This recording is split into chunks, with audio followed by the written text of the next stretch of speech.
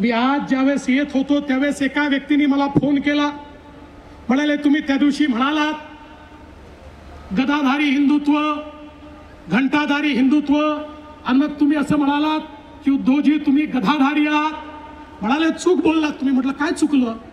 म्हणाले तुम्ही असं म्हणायला पाहिजे रोज सकाळी टी व्ही उघडल्यानंतर गदा आमच्या दारी गधा आमच्या दारी.